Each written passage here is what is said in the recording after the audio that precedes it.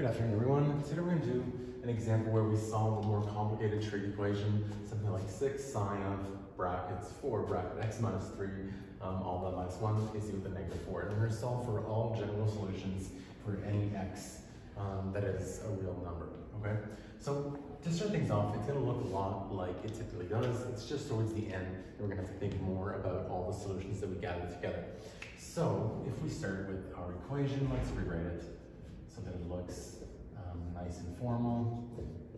Minus 1 is equal to negative 4, right? So the same way we always would. Let's start off by adding 1.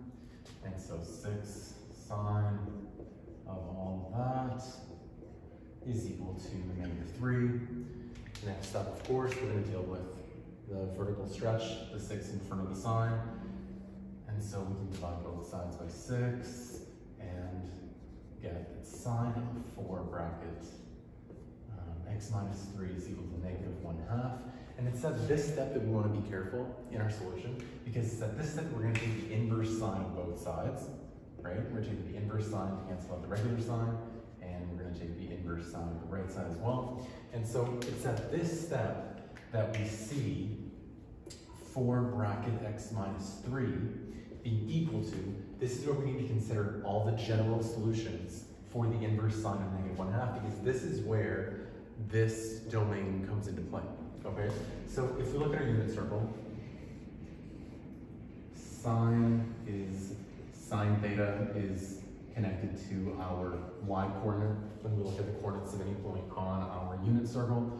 And so our sine theta um, being y, and we want, uh, and us wanting the inverse sine of negative 1 half means that we're going to look for the points where sine theta being the y coordinate is negative, which is going to be around here and around here. Now we can do this in degrees or radians since the domain isn't really specified. Let's use radians just practice. And so if you know the inverse sine of negative 1 half, you'll know that this is at 7 pi over 6 and that this value falls on 11 pi over 6. Okay? So we can also agree that um, these values are not unique, but we can also hash them after any integer multiple of entire revolutions around our unit circle. And so what we need to write for our solutions is 7 pi over 6 um, plus or minus 2 pi k, or um, we can also have 11 pi over 6 plus or minus 2 pi k, where in both instances um, our k can be any um, element of the set of integers. And so it's at this point that we want to perform the algebra of dividing by 4 on both sides. And so we divide by 4 and we divide everything by 4.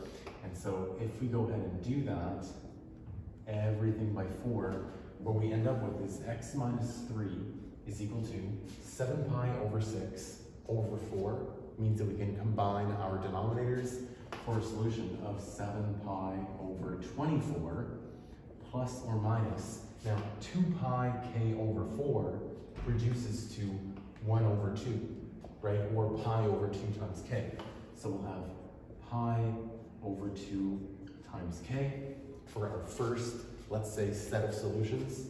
And then for the second set of solutions, we'll have 11 pi over 6 all over 4, which brings us to 11 pi over 24.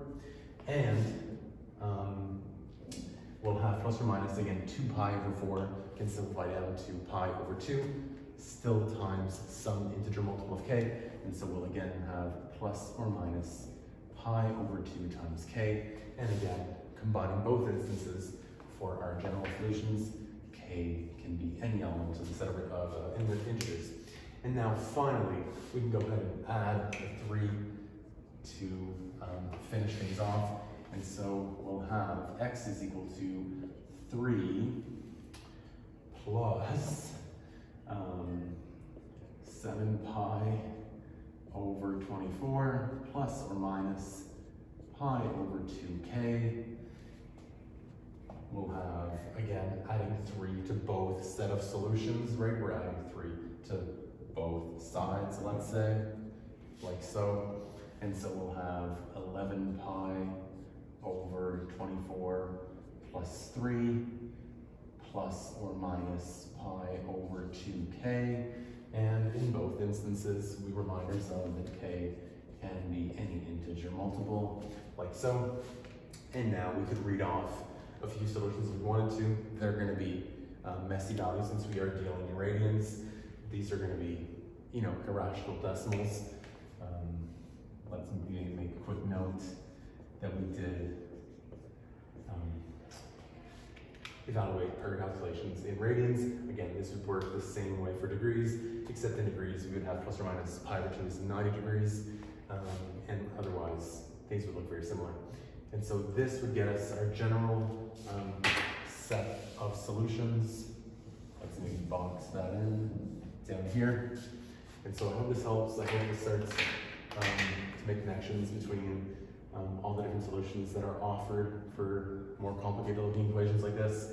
Again, the idea is that at the step where we're taking the inverse sine, and the inverse cos, the inverse trig ratio, this is where we need to consider all of the available solutions at our disposal, and then we can finish off the algebra for the stuff that is inside um, of our trig function.